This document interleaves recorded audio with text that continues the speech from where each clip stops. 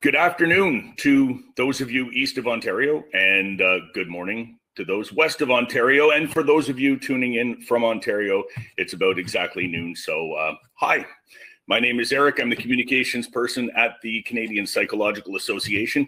On behalf of the CPA, welcome to the webinar COVID and the Canadian Winter.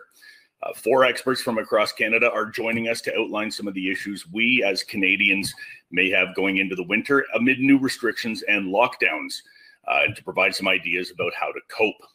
Uh, we had scheduled five presenters for today, but unfortunately, Dr. Christine Korol in Vancouver is unable to join us due to an emergency. Uh, we wish her well, and you can still hear her guidance and thoughts uh, concerning depression and anxiety on the CPA podcast Mindful, available on SoundCloud and wherever you get your podcasts. Our first uh, presenter today uh, works with older adults living with dementia. She's a clinical psychologist and neuropsychologist at Baycrest in Toronto. Uh, please welcome Dr. Yael Goldberg. Thank you, Eric, and thank you everyone for having me here today. So I'm going to be talking about isolation uh, and dementia during the pandemic. I just have to figure out how to advance the slide. And there we go. Okay, um, so I'm going to talk to you today about how to combat the negative impacts of isolation for both ourselves and the older adults in our lives. So we all know that the uh, negative impacts, including loneliness and understimulation, helplessness, and anxiety, all lead to uh, negative health outcomes. And so I want to just focus on the positive and focus on ways to combat those. Um, so the first thing I want to remind everyone is to remember the strengths that you do have. This is not the first time in your life where you've had to overcome something challenging. So how did you manage in the past? How did you cope? And can you apply those strengths to the current situation? I also want to remind people to focus on the things that you can control. We can't control the pandemic, we can't control lockdown, but we can control things like what we're going to make for dinner or what time we're going to eat or what we're going to wear. So focusing in on those things. Thinking about the certainties in life. What are things that we absolutely know for sure are going to happen? Like the sun will rise and I, I, I love my daughter no matter what. That can help us feel grounded in a time which is so uncertain. It's also important to be a good, uh, responsible consumer of information. So there's a lot available out there on different forms of media we want to make sure that we're getting our information from evidence based sources that we can trust. And we want to monitor our reactions to that as well.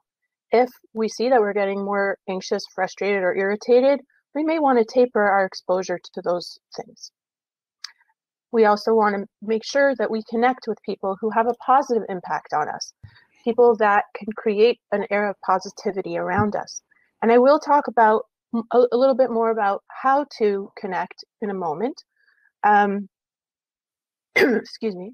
Um, there are lots of virtual programs available, um, from online support groups to e-visits with using vi- video conferencing, where we can chat with our um, older adults who are living in long-term care homes or other acute settings, or even who live at home but are just in a different province or different country than us.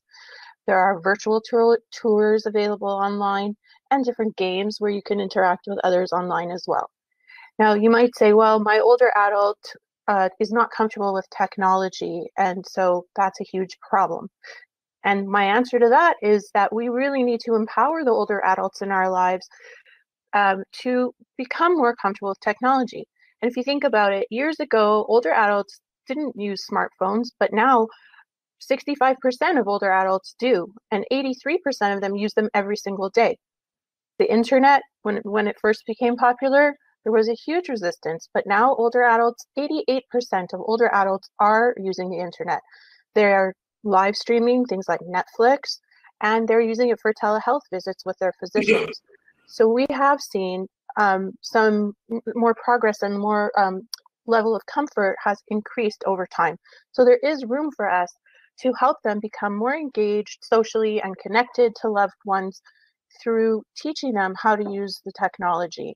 Um, there's an initiative now at Baycrest called uh, Technology Enablement for Older Adults, or T for short, and that focuses on making sure that the older adult has the proper device, the proper connectivity, and the proper training on how to use those things. And speaking of empowerment, um, I just want to talk about how we can empower our, our, ourselves and older adults to prevent the cognitive decline that can come from being socially isolated and understimulated by doing these things. So, first um, area of importance is mental stimulation, and this involves anything that challenges your brain to think. So, that can be a game, it can be reading, writing, listening, or playing music, anything that gives your brain some, some form of a challenge. And for here, I like to say use it or lose it, and that is very true. We want to keep our brains active. We also want to keep our bodies active. Physical fitness is very important. So, exercise, whether it be a lap around your um, hallway in your building, or if the weather permits, going outside for a walk, and diet, making sure that we're eating healthy and not just uh, resorting to comfort food and junk. The other area that I want to highlight is social engagement, and this is really key. Um, here I'm talking about phone calls, pet visits, whether they're live pets or robotic pets, which are available on the market. Hasbro has one that's about 100 bucks, which uh, is very is interactive, so you can pet it and it responds. Um, simulated presence. So by this I mean um, either audio or video that's been pre-recorded by family members or friends so if you can't actually see each other in person, that there is a recording that your uh, loved one can play whenever they want to feel close to you. Um, video conferencing, you know, Zoom, Skype, FaceTime, those are all excellent ways to connect. Um, and I know that in long term care homes and acute care settings, they have people on staff to help set those, uh, they call them e visits. They have that available in most places um, virtual programming like um, tours and, and other things online. And even a book club could be something that you can do even on the phone. Um, the main thing with all these is to implement a structure and a routine. As with all things, knowing when things are going to happen reduces our anxiety and it helps us get through our day better when there are scheduled events. And all of the things that I've talked about today are really to help us create a sense of belonging and safety for the older adults in our lives and for ourselves as well. Thank you very much.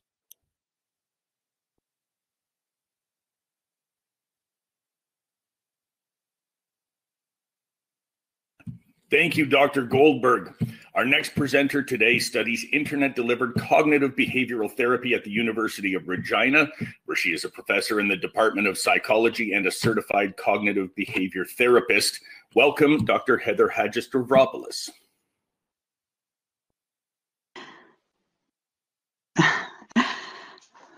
Thanks for having me.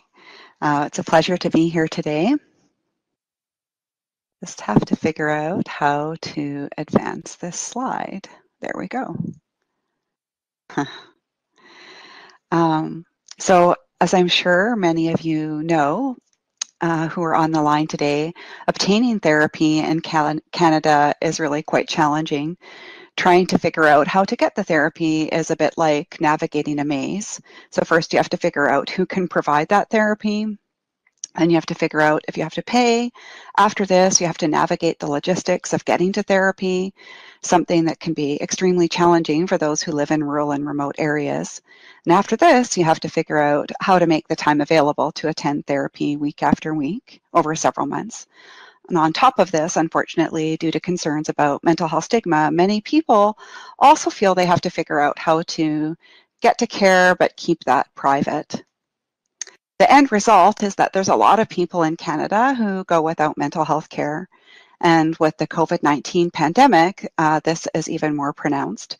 According to the World Health Organization, who conducted a survey of countries around the world, 93% of countries indicated that access to therapy was disrupted, and on a positive note, though, 70% of those countries said that they responded to that disruption by offering some form of online or virtual therapy.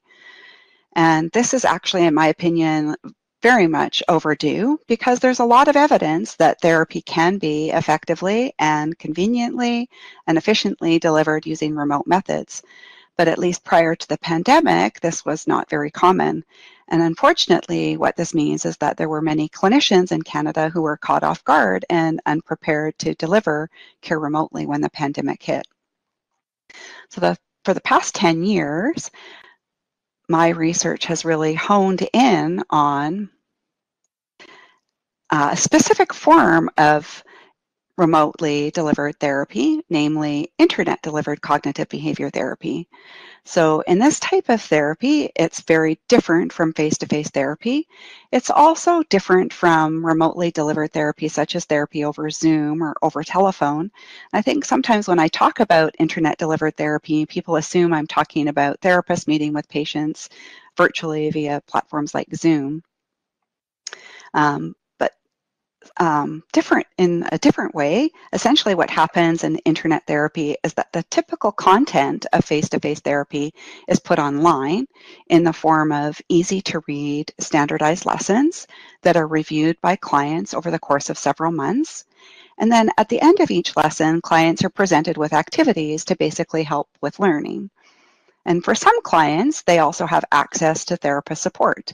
And most commonly, in the, when it's internet therapy, that support is actually provided um, not by phone or by uh, video, but by exchanging emails, and typically only once a week. So in internet therapy, basically the materials are designed to do most of the work, and the support is offered as needed um, on the side, like a therapist in your pocket.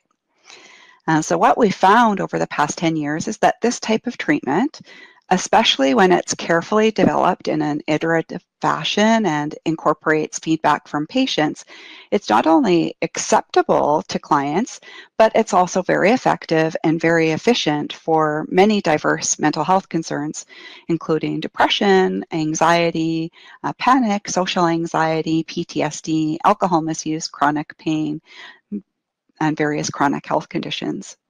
So ultimately, personally, what I'd like to see is that the internet uh, therapy as well as virtual therapy are more readily available in Canada, offering a different doorway to getting mental health care. So I don't think internet therapy or virtual therapy should be the only doorway, but I do think it should be something that is way more available to Canadians on a long-term basis in order to address the undertreatment of mental health problems in Canada and other parts of the world. So thank you very much.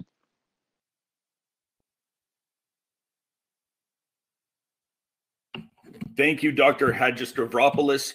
Uh, our next presenter uh, studies cross-cultural psychology and multicultural counseling as a professor in clinical psychology at the University of Windsor. Uh, Dr. Ben C.H. Kuo, the floor is yours.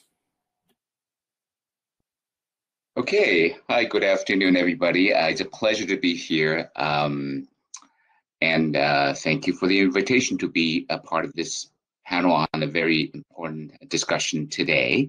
So, what I would like to um, speak about uh, is racism and the pandemic.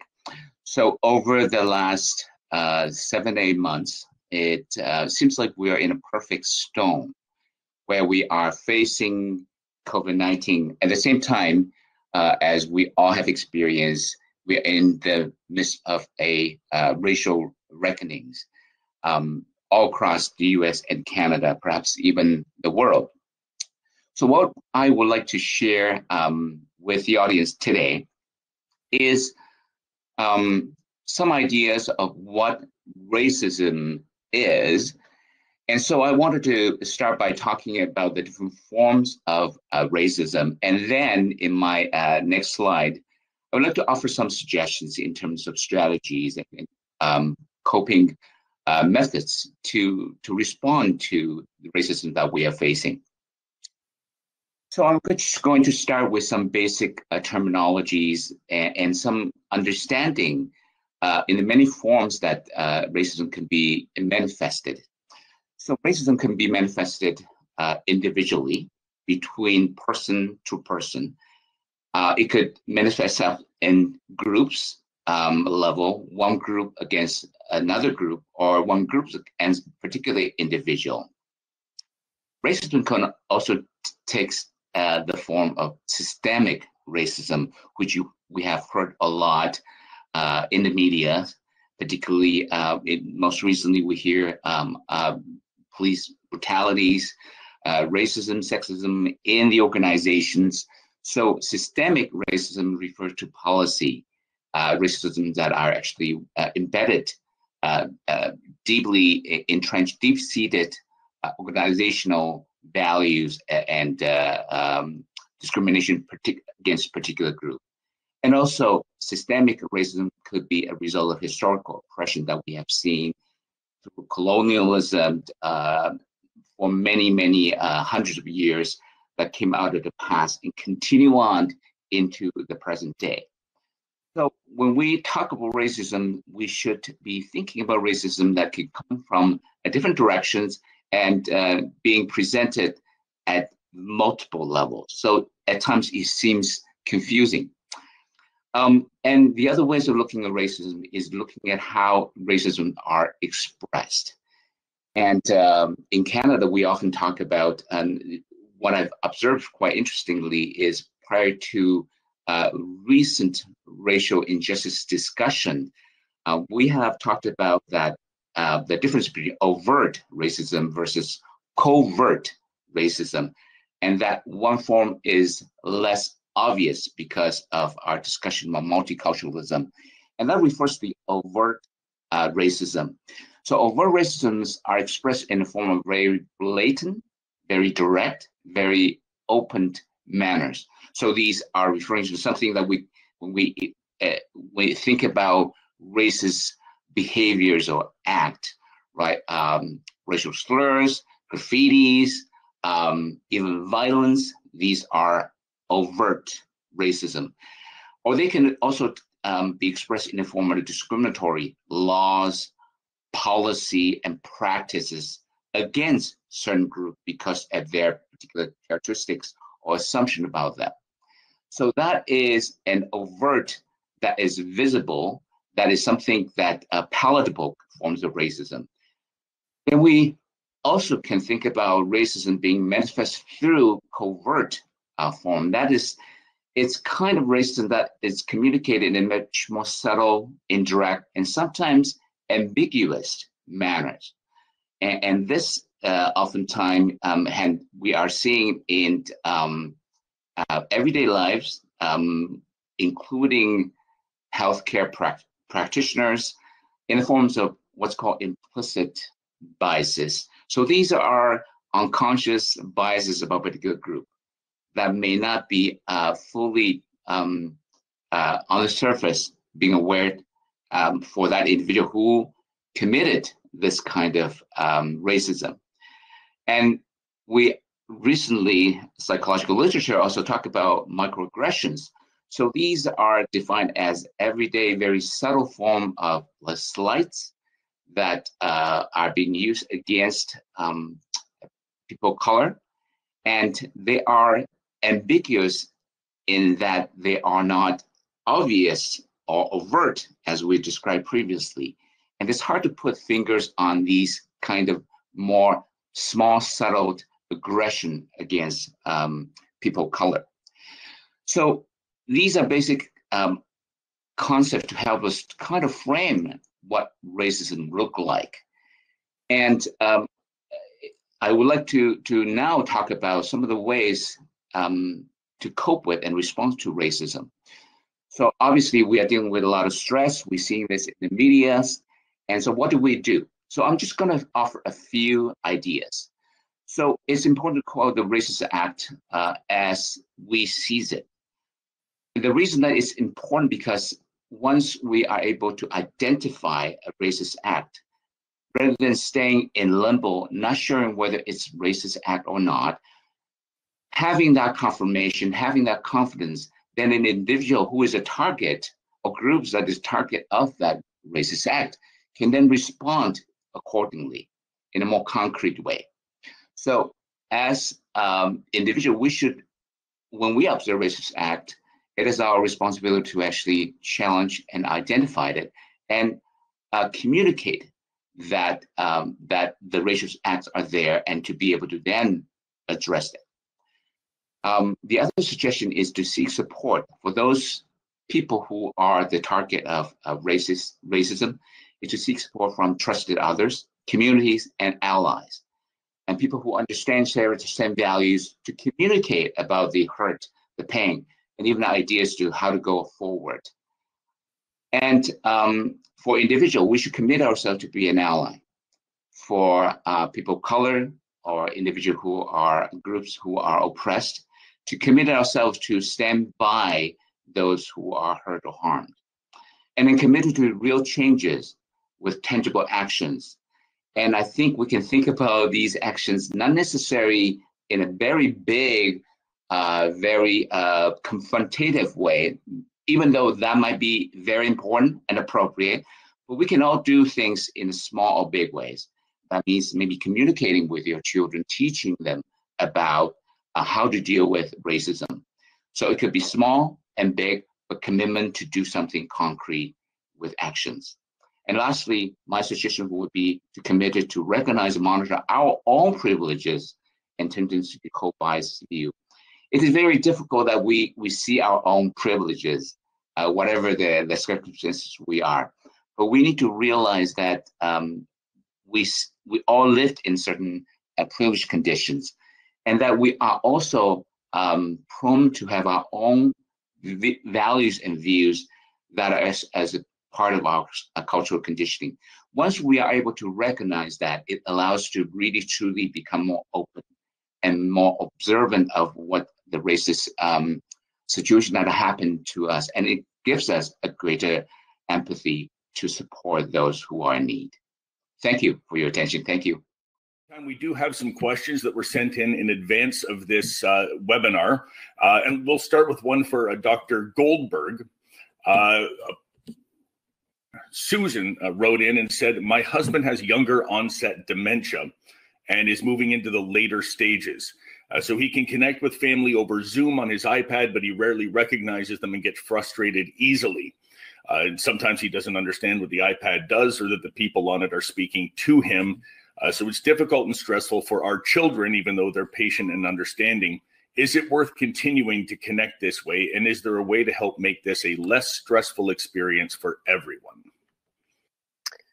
Well, Susan, that's a great question, and I'm sorry that you're having to deal with that right now. That's it's very very tough, especially in a situation like yours when the needs of the different people in the family conflict, right? So the children have a need to connect with their father, uh, but your husband has a need to not be agitated and to preserve his sense of or his quality of life. So it's a real balancing act.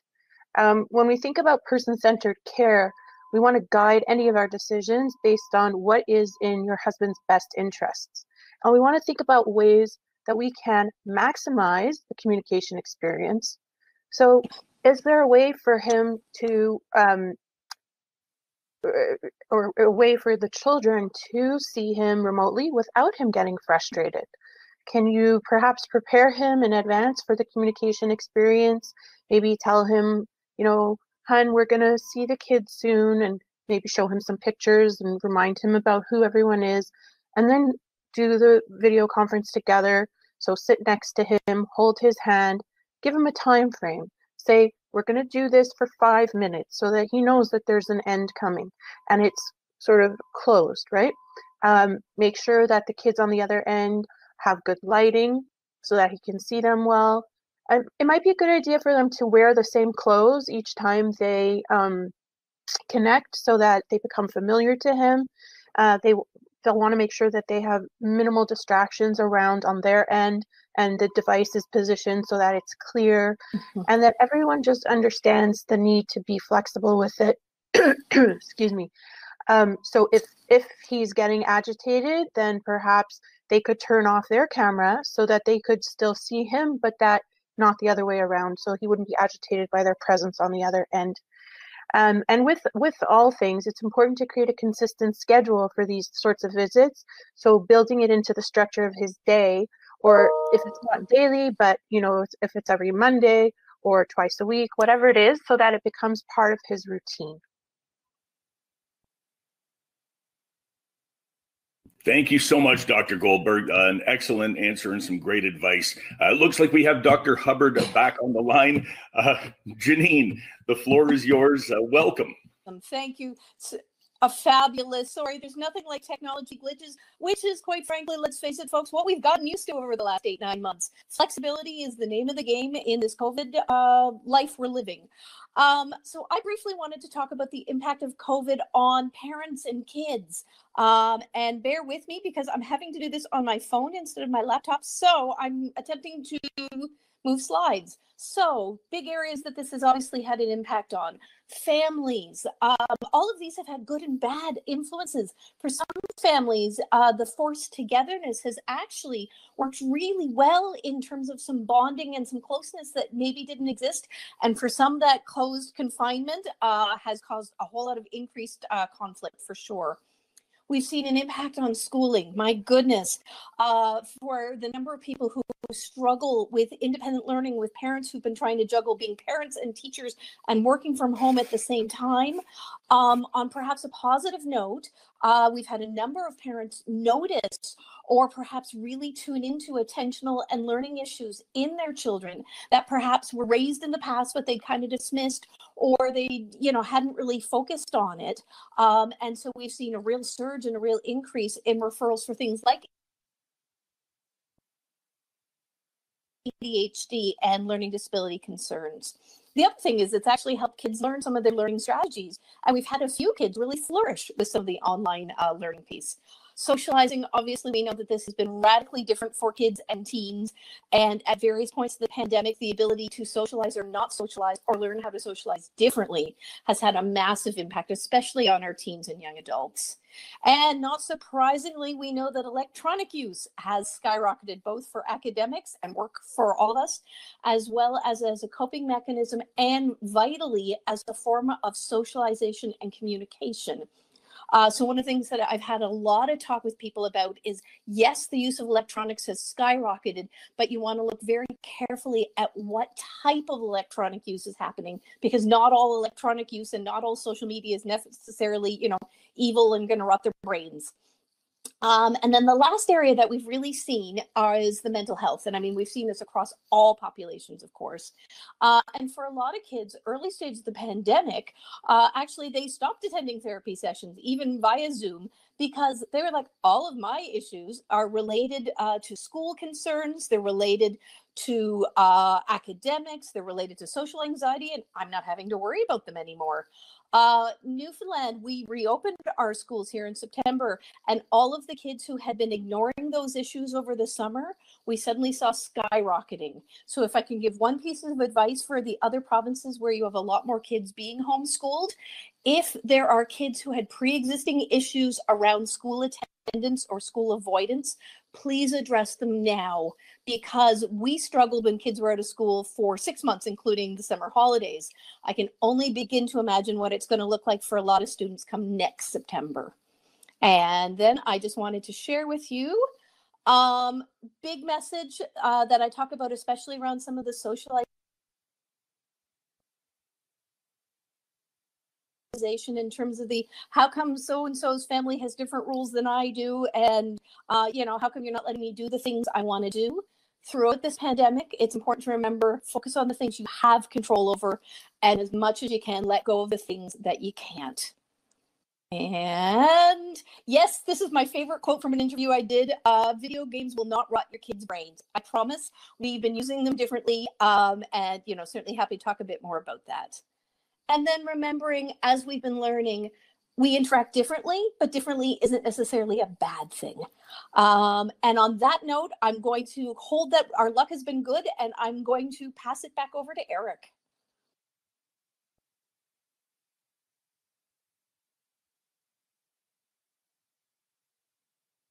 Uh, thank you so much, uh, Dr. Hubbard. Uh, my my son just got the new Cyberpunk video game uh, yesterday. Very hotly anticipated, so I'm glad to know uh, his brain won't be melting.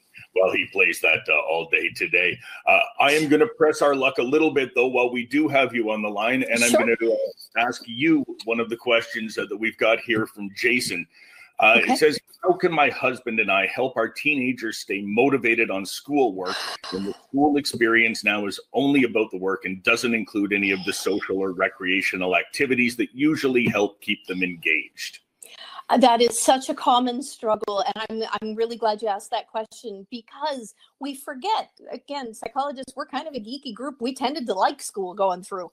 Uh, for a lot of kids, and especially teens, the academic aspect of school they tolerate at bare minimum, and the reason they're there is so they can play sports, so they can do the extracurricular activities, so they can hang out with their buddies. Uh, and we've robbed them of that. We've taken that aspect away. So it's figuring out how do we substitute some of those things. And some of it depends on whether your uh, teen is doing synchronous or asynchronous learning in classes. Um, but we remember the importance of those small social interactions. So allowing uh, some time for some texting, some social media, some FaceTime, whatever you want to do with their peers between classes in the same way that they might normally um, as well as arranging for study dates or perhaps encouraging group projects. Um, again, there's no harm in asking the teacher. You might be surprised because they're having to be really super flexible. Um, but figuring out ways that you can provide, uh, even I know some of my older teenagers are having what they call study dates, where literally they're just connecting via Zoom or FaceTime or something. They're both sitting working on their homework and they're chit chatting from time to time. Um, but it's helping keep each other motivated, it's helping them keep each other on task, and it's still providing that social element. In terms of the extracurriculars, those are really tough. Um, and again, figuring out what you might be able to do to substitute. If it's a kid who's used to being really physically active, involved in team sports that they're not able to do, helping them to figure out, well, what are some ways that we can continue to keep you uh, physically fit so that you're feeling healthy, um, and then figure out some substitute activities that you might be able to do with the buddies from the hockey team that you're not able to be out on the ice with. So again, it's all about being creative. It's all about finding new solutions. Terrific. Thank you for that answer. And we're going to press our luck just a little bit more and ask you one more question uh, while you're thing. here and uh, connected. And you touched on this a little bit in your presentation. I guess uh, we'll just ask you to expand on it a little bit. Uh, Sure. my daughter's friends are telling her all about their plans for Christmas and visiting their grandparents and families in other provinces. Uh, she's nine and has a hard time understanding why we won't be doing the same thing. Uh, is there a way to explain this to her without telling her that her friends' families are being irresponsible? although that's probably in your mind what you would really like to be saying uh, keeping that in check. Uh, partly i think it's important to explain to kids that this experience does look very different across this country. Um, that we know that again here in newfoundland and labrador we've been exceedingly lucky. In fact we feel a little guilty um, so that we have been able to participate in some social activities that i know have just not been possible in some of the other provinces. So sometimes it's putting it within that context and then really it's the like i say that uh, slide that i had about focusing on what you can control as opposed to talking to her about what they're doing. Emphasize that every family is different. Every family has life circumstances that allow them to make different decisions and then focus in on the here's what we're doing. And okay absolutely there are things that you are feeling missing out on. Let's grieve that that's mourn that. But then let's look at the holidays and what are the things that were really important to you in the past? What are the things that you really enjoyed? And let's figure out ways to make that happen.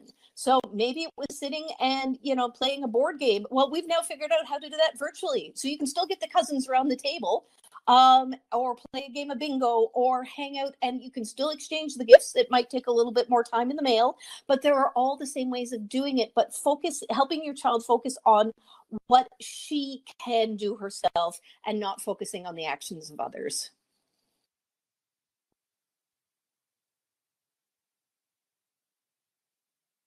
All right. Thank you, Dr. Hubbard, and uh, I'm glad we got our uh, connection issues how are we doing out there eric very well. That was great. Thank you. Uh, now I have a question. Uh, moving on to uh, Dr. Hadjistavropoulos. Uh, and Karen asks, I had a therapist before the pandemic with whom I was very comfortable speaking in person. Uh, but now that we're doing therapy virtually, I'm less comfortable with him than I was before, even though I'm quite at ease with Zoom calls for work and other virtual platforms for other reasons. Uh, is this normal? And is it okay for me to seek another therapist? Yeah. Um, so what I can tell you is that um, delivering care virtually or via ICBT or internet therapy is pretty novel for a lot of therapists. And I don't think that when um, therapists went into psychology, they had in mind that they would be delivering care via Zoom or um, through emails. And I think um, what I've noticed with ICBT and internet therapy is that some adapt really quickly and others kind of struggle with it. Um, and it isn't that comfortable. And I think that's true of clients as well. Um, even even when they're kind of used to being on Zoom or technology, that um, some adapt and others struggle. And I think uh, for any therapist who's on the line, uh, what I would say is that one of the number one recommendations, whether you're delivering internet therapy through email or Zoom or telephone, is to frequently check in with clients and see how they're doing and if they're having any challenges. And I think um, what you find is that that process of checking in is helpful and actually helps normalize this experience for clients. And um, often that's actually enough in and of itself. Um, but if uh, clients are open about sort of what's going on, you can brainstorm sort of how to overcome the challenges.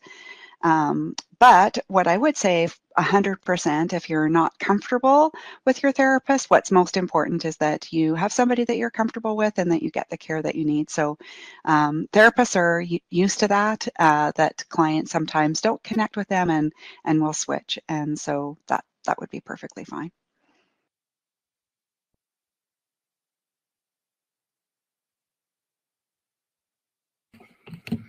Thank you for that. Very uh, helpful and informative, Dr. Stavropoulos. Uh, our next question is for Dr. Kuo. Uh, and you touched on this, uh, Dr. Kuo, in your presentation a little bit as well. Uh, but uh, the question is I find that when I see racism online and I call it out, it ends up being someone looking for a fight just for the sake of fighting. and it never changes anyone's mind or attitude. I do it hoping that someone else sees the conversation and gets persuaded but I'm not sure that happens at all. Is it worth doing it online when uh, I'm worried that all I'm doing is giving a platform to someone who wants a fight? Hmm. Yeah, that's a that's a great question. Um, let me let me um, address the second part of that question first, and that is: Is it worthwhile to actually address uh, racism um, online or uh, in person? Uh, which one is is is better off. I would definitely say that it, with any difficult subject, such as a discussion of uh, racial injustice, um, it's definitely if you have a choice to be uh, speaking to that person face to face. And the reason is because topic like this is so emotionally charged. And so having that opportunity to actually see the person in front of you so that you see, can see uh, their emotion, uh, their body language, their nonverbals, and allows you to better understand their motivations. And based on those feedback, I think there will be a much more responsive and effective communication when you meet that person having conversation about the topic face to face. So definitely, if there's choice, uh, have that conversation um, um, in person. And then to uh, the first part of the question is about picking fight and the, the platform or online uh, as a way of, of kind of expressing your, your opinions about um, racial issues. As we know, online platform, social medias, um, is not a particularly um, helpful platform to talk about controversial or emotionally charged issues because the anonymity um, of the persons who is communicating. We don't see the person. We don't have a relationship with person who are making certain comments. I would say definitely for your perspective, it's helpful, as I mentioned earlier, when you see something that is racist, do call them out.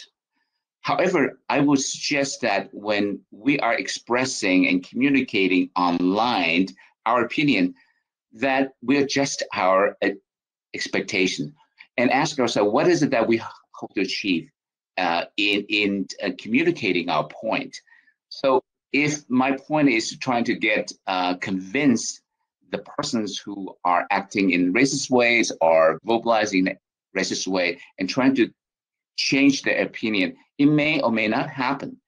So um, I think we need to understand perhaps if my motivation is so that I can make a point, I stand my ground, and so I can make voice my opinion, and that's my goal. And I think if that's the goal, we should be able to go in and uh, making a point and knowing that we will accept whatever the responses from other people um, will be, whether they are for or against.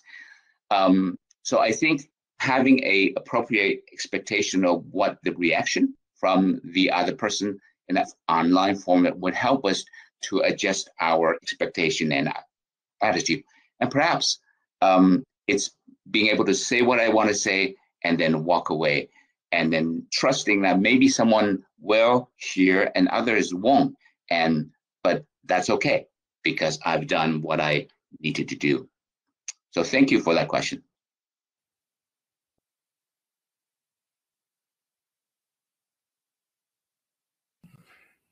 And thank you for that answer. Uh, that's terrific. Very good advice. Uh, stand your ground and say what it is you want to say. Our next question is for Dr. Goldberg. Uh, Diane is asking, how can I help my mom reach out to other people around her? Uh, she lives alone in another province. We speak on the phone every day, but she doesn't talk to her friends or neighbors, and she doesn't go online. I worry that I'm the only contact that she has with the rest of the world. Well, thank you for your question, Diane. And I'm sure that there are a lot of people out there that are facing the same thing as you. Um, I would start off by f- trying to find out why she's not talking to friends or neighbors and why she's not going online. So, kind of do some investigating. Um, try to identify what the barriers are for her. What are her hesitations? What are her worries? What are her fears? Maybe she feels embarrassed to initiate contact. Maybe she thinks she's going to be rejected and she's afraid of that. Maybe she feels it's intrusive to just call someone out of the blue. Um, for online, you know, find out what her issue is. Does she have the proper device? Is it working? Does she know how to operate it properly? Is she set up with an internet connection? So just do some, um, you know, troubleshooting around what some of the issues are that are preventing her engaging socially in these ways. And then once you find out what the problems are, then work collaboratively collaboratively with her to address each barrier. So you want to strategize how to overcome each of these things individually by creating a plan, right? So, for example, you know, if she says she's uh, hesitant to make the first contact, maybe offering your help in making the first contact with her, either with her, so you're on the line with her, or for her, so you reach out on her behalf. Another thing could be um, suggesting scheduled phone calls. So that each time is not a new um, responsibility on her part to initiate. But once she has made contact, then it's, you know, she knows that every Monday at 10 o'clock, she's going to have Zoom coffee with, you know, Lucy. Um, you can also ask her for if, if she would like your help in scheduling different things. Um, if the issue is that she is just not motivated, work with her and try to find ways to motivate her explain to her that you're worried about her, you would like her to be more, more socially connected to help maintain her mental fitness. Um, offer her incentives, you know, um, see what really would would get her going, um, and try to offer those things to her. And this whole entire approach really requires uh, that you ask questions in a very non-judgmental way, really listening to what her responses are and meeting her where she's at to try to work with her um, to help to help her feel more comfortable. So it's it's really a matter of putting your own agenda and your own worries aside, which are very valid for the record, but just putting those aside and trying to focus in on who she is and what her needs are and how you can help her meet those needs. And sometimes people are not aware uh, of what they need to do in order to be healthy whether it be physically or mentally or emotionally and so you can you can make your suggestions but in a way that she feels non is non-threatening uh, the you know there's that um, concept that you catch more flies with honey than vinegar and so just being very open to what she has to say and working with her to help her overcome some of these challenges that she's facing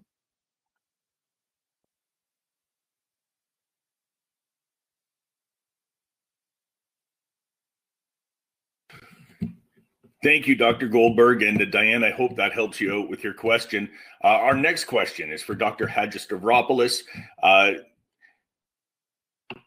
it's Hamid who is asking How would you suggest I prepare for a virtual CBT session? Uh, should I be in a quiet room by myself? Can I eat a snack? Can I bring one of my kids to participate if they want to? Yeah, um, that, that's actually a good question. In general, I would say um, what you want to do when you're meeting with a client virtually or if you were working on an internet therapy program is that you would want to be in a quiet room, probably on your own, so that you can focus in on uh, the therapy. Uh, that said, um, I guess one of the things about being at home is that there sometimes there are distractions that you can't um, overcome and so i guess i would talk with your therapist um, about that about having kids in the room and i guess you know there might be some problems where that actually could be uh, helpful to you so I think it comes back to that thing that I said in the previous answer, where that communication with your therapist and um, around what works for you is most important. Thank you.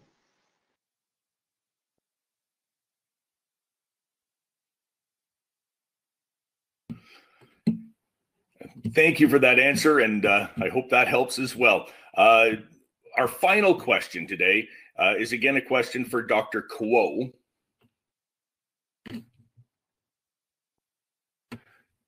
And it's Richard who is asking How can I talk to my kids about racism at an early age, like before the age of 10, both to help them become respectful human beings of conscience and to inoculate them against going down a racist path later in their lives as they get online and may be influenced by the ideas and opinions of peers and others?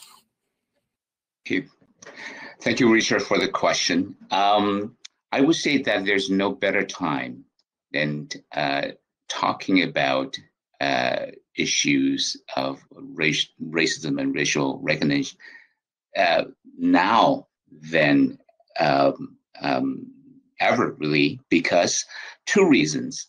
Um, one is given the societal climate, because uh, we have seen on the news, social media, um, reports about uh, here in Canada, Truth and Reconciliation movement, the Black Lives Matter movement.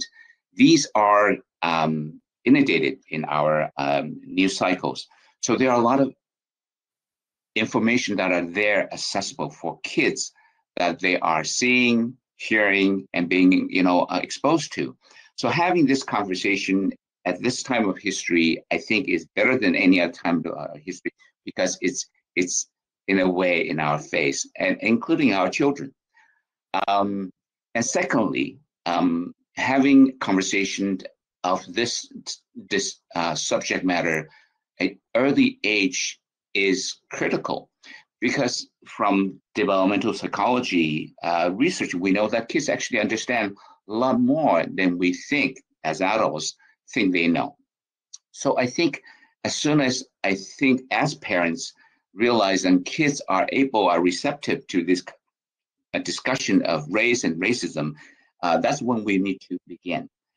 Um, so yes, it's a good idea to start talking with kids and uh, our children early on these topic. And so the, the question about how to do that. So I will offer three uh, suggestions and uh, for parents, uh, how to how to have this conversation with, with your kids. And I'm a parent of two boys, uh, one who is 10. So this is also reflective of my personal experience uh, about my role as a psychologist. One is what I call uh, incidental learning. So these are unplanned, unstructured uh, opportunity to have conversation with our children about race and racism. So um, these are something perhaps example is watching TV with your child they came by and watched this news about protest or driving down the street seeing neighborhood there's protest uh, nearby in the neighborhood or that uh, conversation over the dinner table that kids overheard uh, their classmates about saying something related to uh, this this ra- racism topic and so using that opportunity in a very natural way to say, hey, what do you think? And so what does that mean to you? And inviting our kids to talk about these in a very natural and a very um, unstructured way. So this become a part of our uh, communication interaction with our kids. And then we can offer them of our thoughts and opinion and, and even some coaching. Secondly, um, I would call this more intentional learning. And uh, as with all the difficult subjects with talking with kids, um, it's helpful to have something visual. So I would suggest, in fact, there are a lot of resources, uh, children's books, even for young children, pictures books um, about race and racism, cultural and diversity issues. Uh, they're incredibly amount. Uh, if parents can do a little bit of uh, research online or talk to your um, librarians in your local libraries, for suggestions on books that tailor and design for children that deal with culture and diversity issues. Um, I think most parents will find surprising that there are quite a lot. And so, in a way, in the mediums that it's very accessible for children, story characters, and allow them from there early to be reading about these complex issues, but in a way, again, interesting, engaging, moving, and that they can relate to. And finally, my suggestion would be uh, for parents to talk about difficult topics such as race and racism is to look up some resources. There are free resources uh, available for parents how to um, talk to your kids, how to have this conversation. And I'm thinking about, for example, American Psychological Association has uh, free resources specifically about coaching and giving tips to parents how to uh, broach the topic with with your children. So I definitely ask parents to uh, look into those resources. So I think there are multiple ways that we can um, do this, and it's always very powerful, very useful, and effective when we start having this conversation with our kids early. Thank you, and back to you, Eric.